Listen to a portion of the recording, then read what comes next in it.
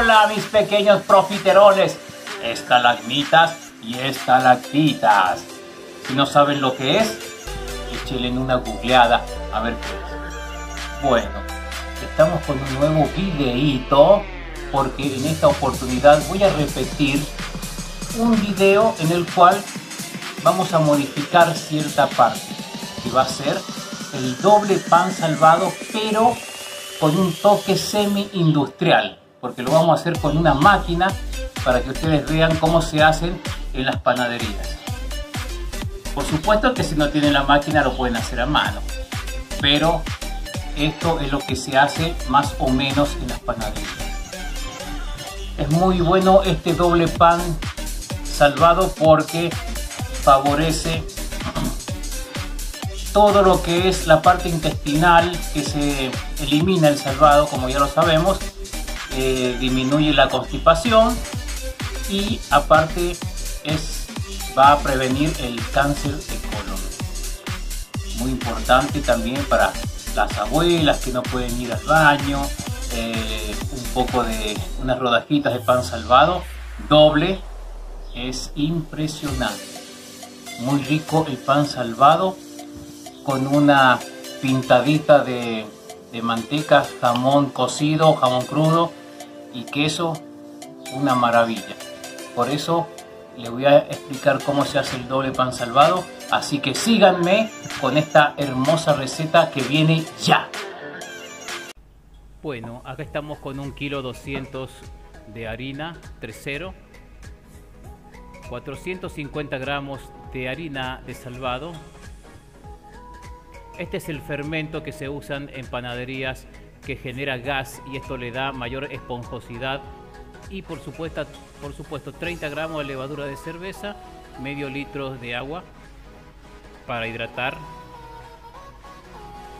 Agregamos el medio litro de agua a esta harina de salvado para que se vaya hidratando lentamente. Vamos a hacer una corona con el, el kilo 200 de harina. A continuación azúcar para que la levadura tome mayor fuerza. Como habíamos dicho 30 gramos de levadura de cerveza. Nuevamente unos 150, 200, 100 puede ser centímetros cúbicos de agua para disolver lentamente esta levadura. Esto es muy importante que se vaya disolviendo. 10 gramos de sal que se va a colocar como en todo proceso que lleva levadura alrededor de la corona para no mezclar con la levadura y que la levadura pierda su fuerza. Acá como vemos cómo se va generando estas burbujas que es la levadura que va fermentando. Va fermentando de a poco. Y ahora recién le agregamos el salvado hidratado para que no tengamos que irlo hidratando mientras vamos amasando. Nos va a resultar mucho más fácil agregar a esta corona el salvado hidratado que si lo agregamos seco. Va a ser mucho más fácil el amasado conseguimos mientras vamos raspando esta esta harina que va mezclándose con el salvado es importante tener todos los utensilios. Acá tengo dos espátulas que me ayudan para poder trabajar. Tiene los cornet también pero me resulta más cómodo estas espátulas que los cornet Si falta un poquito de harina se le puede agregar para el amasado. Acá se le agrega el fermento, que como habíamos dicho se agrega esto, es muy común en las panaderías el, fermento para generar gas.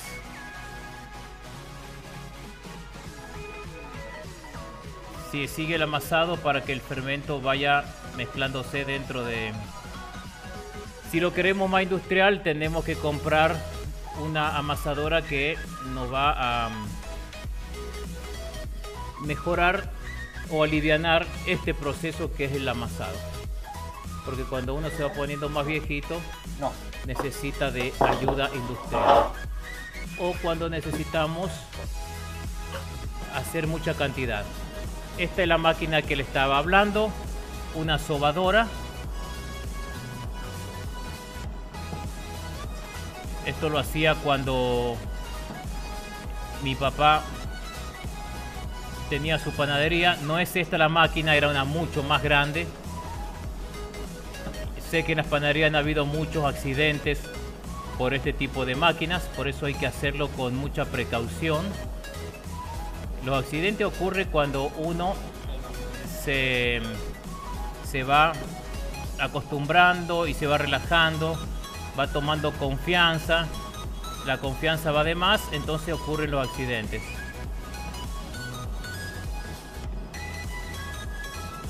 Yo la masa la largo y desde arriba nomás la empujo y no toco más nada.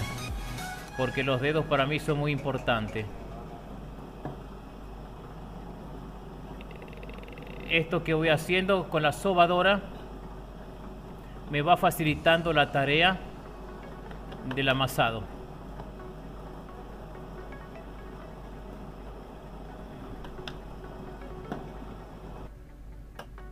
Una vez que ya está sobada la masa, voy haciendo bollos eh, de... No recuerdo cuánto tenía acá, más o menos 250 gramos. Cada uno el peso de que quiera hacer el pan lo puede hacer a su manera, a su gusto. Quiere hacer un pancito individual de 50 gramos, lo haces. Ahora querés hacer un pan gigante, un panetone de salvado de un kilo, kilo y medio, también lo puedes hacer. Esto está más a gusto personal. Ya habíamos explicado muchas veces cómo es el amasado, formando los bollos primero. Hasta ahora en ningún momento he dejado descansar la masa, ¿eh? La masa no ha descansado en ningún momento hasta ahora. Pero ahora, una vez que armamos los bollos, vamos a proceder a que esta masita descanse para que vaya tomando fuerza, genere gas el fermento y la levadura empiece a dar fermento con el gluten. Una hora de descanso y acá volvemos, sacamos, armamos el pan, lo queremos hacer en forma alargada, esta es la forma que lo hacemos, cada uno tiene su forma predilecta y acá se agrega o se coloca sobre el recipiente que uno le va a meter al horno. Acá se está dejando en estos recipientes, se le hace el corte. Yo le hago el corte de entrada, porque si lo hacemos al corte cuando está descansando la masa se te puede venir abajo la levadura, se aplasta el pan, se baja la masa y le doy una pintadita con clara de huevo.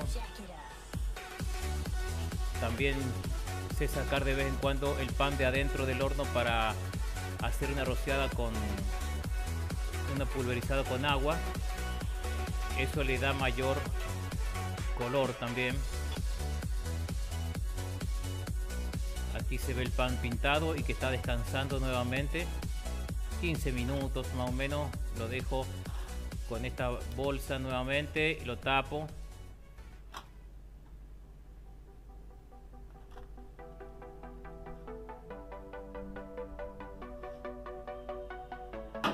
Y aquí estamos preparados para ir al horno. Fíjense cómo ha crecido el pan.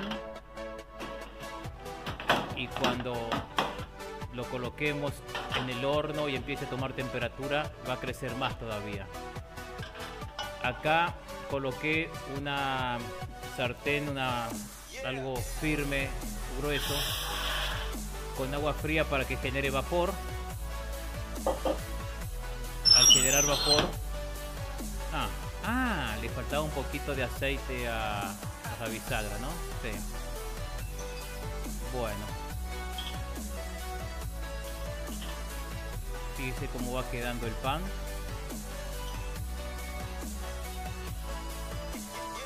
Para que vayan viendo. Esto ya llevamos 20 minutos de horneado. Para que vayan viendo cómo va tomando el color. Y le falta todavía, ¿no? De abajo ya está.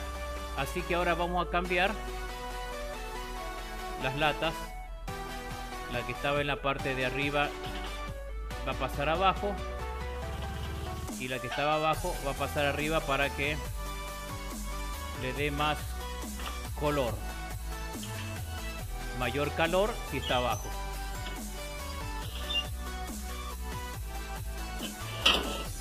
Tras 40 minutos ya tenemos nuestro hermoso pan y ni quieran sentir el olor.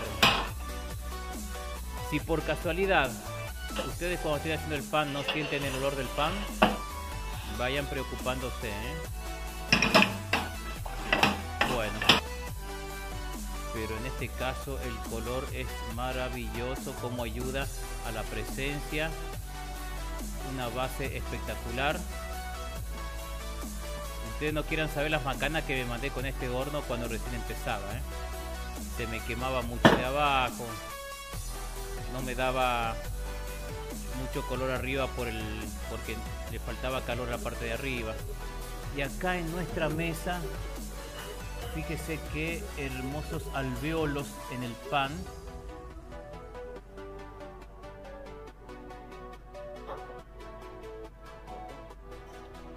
No, no, no, no. Increíble. Increíble. Una maravilla. Le aconsejo que lo hagan porque esto es una de las cosas que no se puede repetir muchas veces.